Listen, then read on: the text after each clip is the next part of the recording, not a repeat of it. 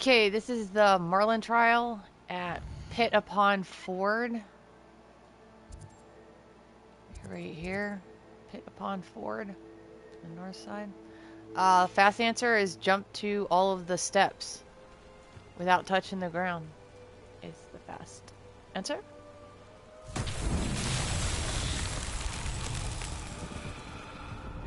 And the off chance I fall and have to start all over again.